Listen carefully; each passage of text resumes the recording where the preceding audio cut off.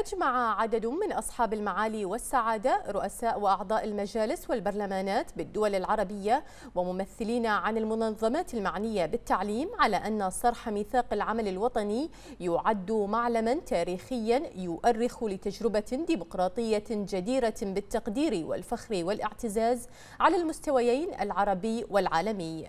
جاء ذلك خلال زيارتهم إلى صرح الميثاق الوطني ومدرسة سمو الشيخة موزة بنت حمد آل خليفة الشاملة يرافقهم سعادة الدكتور ماجد بن علي النعيمي وزير التربية والتعليم.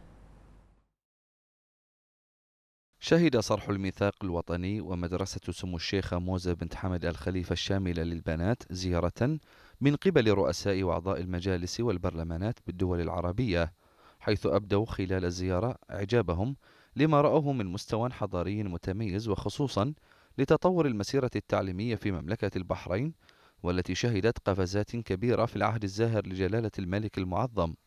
وقد اطلع الوفد خلال الزيارة التي يرافقهم بها سعادة الدكتور ماجد بن علي النعيمي وزير التربية والتعليم وسعادة السيد عادل بن عبد الرحمن العسومي رئيس البرلمان العربي على ما تضمه جدران صرح ميثاق العمل الوطني من أسماء للمصوتين على ميثاق العمل الوطني والذي جسد الالتفاف الشعبي خلف قيادة حضرة صاحب الجلالة الملك المعظم وتطلعات جلالته النيرة لمستقبل مشرق لمملكة البحرين.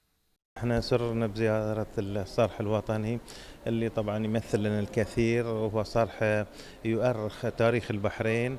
بلا شك يعني هذه المرحلة ويؤرخ مرحلة مهمة وهو تولي حضرة صاحب الجلالة الملك حمد بن عيسى آل خليفة المعظم ملك البلاد حفظ الله ورعاه.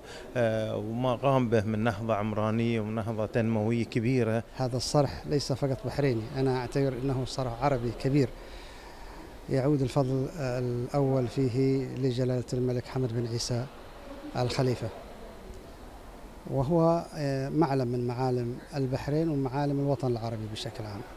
وفي مدرسة سمو الشيخ موزة بنت حمد الخليفة في المحافظة الجنوبية أعرب رؤساء وأعضاء المجالس والبرلمانات بالدول العربية عن إعجابهم بهذه المدرسة التي تعد أنموذجا رائعا لتطور المسيرة التعليمية في مملكة البحرين.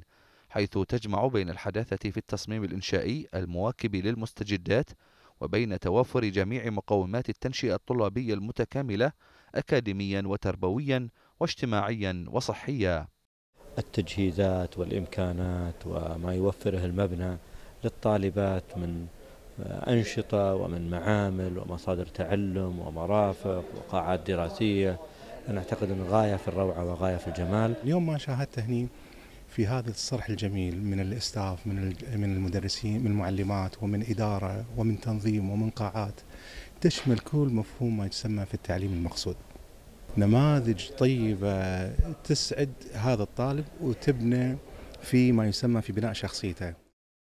وتأتي هذه الزيارة لأصحاب المعالي والسعادة رؤساء وأعضاء المجالس والبرلمانات بالدول العربية على هامش زيارتهم لمملكة البحرين لحضور مؤتمر إطلاق وثيقة تطوير التعليم في العالم العربي والذي نظمه البرلمان العربي بالتعاون مع وزارة التربية والتعليم برعاية كريمة من سمو الشيخ محمد بن مبارك الخليفة نائب رئيس مجلس الوزراء رئيس المجلس الأعلى لتطوير التعليم والتدريب.